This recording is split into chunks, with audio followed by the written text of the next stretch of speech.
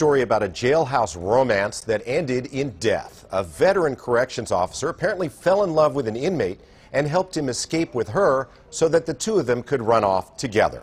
It happened at the Lauderdale County Jail in Alabama. Authorities say the 38 year old inmate, Casey White, who was awaiting trial on murder, struck up a relationship with 56 year old Vicky White, no relation. She was the assistant director of corrections at the jail where he was incarcerated.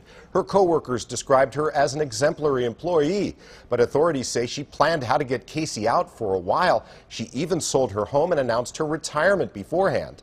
Then on April 29th, authorities say Vicky picked up Casey from the jail for what she said was a mental health evaluation, which authorities later learned was never even scheduled. The two of them fled in her patrol car. Vicky had spent the night before in a motel near the jail. Authorities say she'd bought men's clothing from a department store beforehand so that Casey would have something to change into. After they left the jail, the two of them ditched her patrol car in a parking lot where cops later found her jail keys, a radio, and handcuffs. Then they went on the run for 11 days. On May 3rd, somebody phoned in a tip.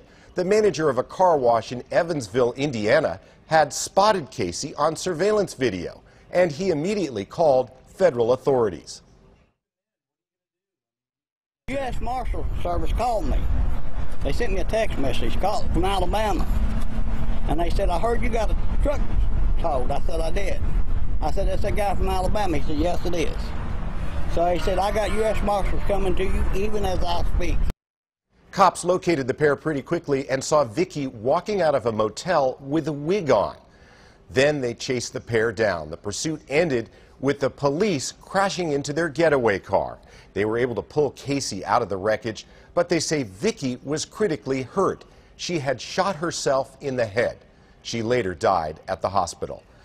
As for Casey, soon he'll be on his way back to Alabama. He was already serving a 75 year sentence for attempted murder and awaiting trial for a stabbing.